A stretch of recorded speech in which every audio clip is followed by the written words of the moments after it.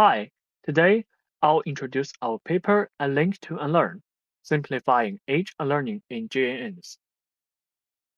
Although machine learning models have achieved great success in various tasks, this advancement inherently comes with the risk of privacy leakage, as training data with sensitive information can be implicitly remembered within model parameters.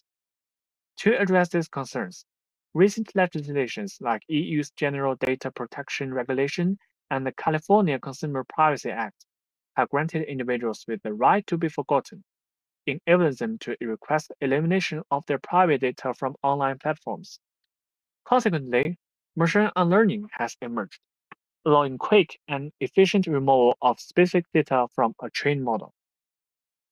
In this paper, we focus on edge unlearning, a key learning scheme in graphs owing to its pivotal role in online real-world applications to safeguarding edge privacy. Consider the scenario where individuals in social networks may seek to conceal certain private social connections, or users in recommender system want to erase their interactions with certain items. For this instance, GNNs that have been trained on these graphs require timely updates to eliminate any influence of the data intended to be forgotten while preserving performance on retained edges. Recently, GNNDelete has achieved state-of-the-art performance in edge unlearning. However, we observed a considerable decline in its prediction accuracy for edges in the retained set, especially for those resembling or closely associated with the edge subjected to unlearning. We introduced the term over-forgetting to describe such a phenomenon where an unlearning algorithm inadvertently eliminates an excessive amount of information from the retained data. In this study, we address the challenge of overforgetting by introducing Unlink to Unlearn, UTU.